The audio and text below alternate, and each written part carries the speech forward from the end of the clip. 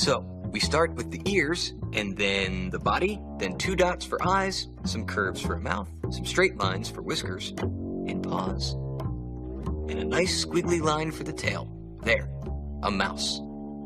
Let's start with a circle, then some curves all around for the petals, a straight line for the stem, and a leaf, like this, a flower.